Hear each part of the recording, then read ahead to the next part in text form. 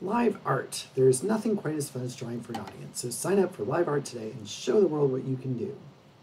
Flag will be the admin's username or broadcast link at the origin localhost 4000. Here's the site. So we'll go ahead and take a look here. We have this editor, and we can draw things. It says it's not broadcasting.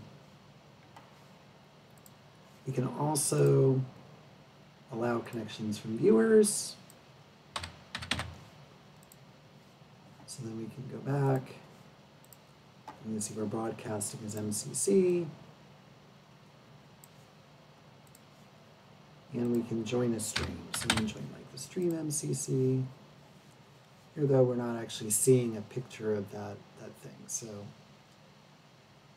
what we can do though is go ahead and open up the uh, settings, developer tools.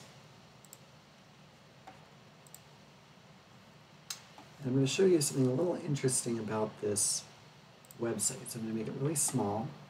You'll see that we get this uh-oh spaghetti-o. Please make your window bigger, return to previous page or go home. And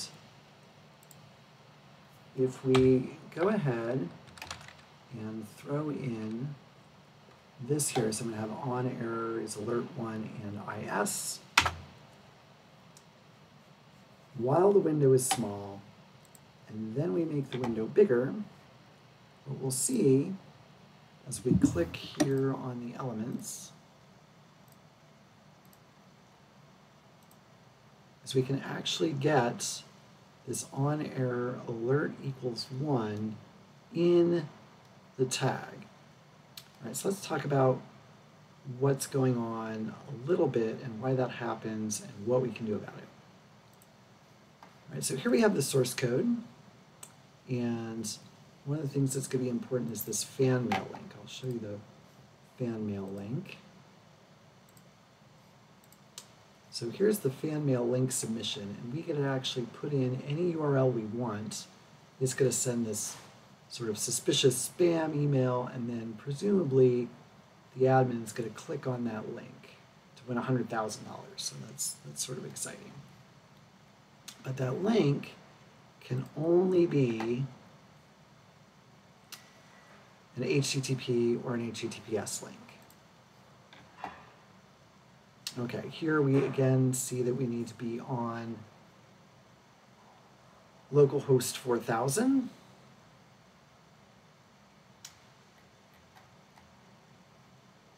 And here we see the code for that uh-oh spaghetti page.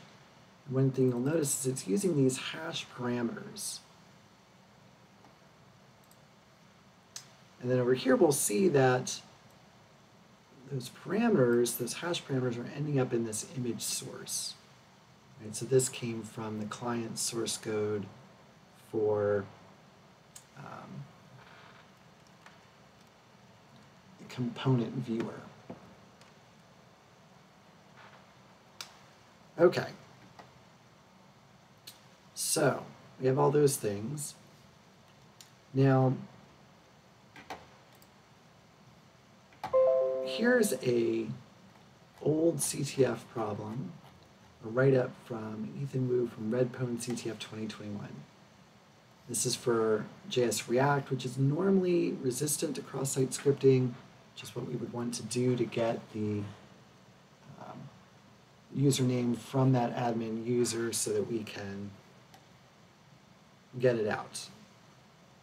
But what was noted at that time is if we have is attribute, that's going to tell it that this is in fact a custom HTML component and to go ahead and just pass those additional parameters to the HTML instead of trying to handle them in React.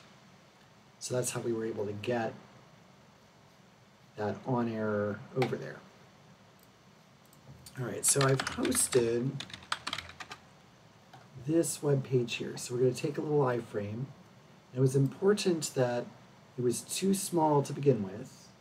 That too small to begin with is going to generate the uh-oh spaghetti error message. So we put it in a frame, we make that iframe small, Then after a second, we're going to make it big. And then what will happen is it's going to look at this. There's the IS that we were talking about. It's going to have an error because this bob.jpg does not exist. And it's going to set the window location to the origin, so the website that I'm coming from, plus local storage username. Okay, so we'll put all that together. We'll send. We have that success.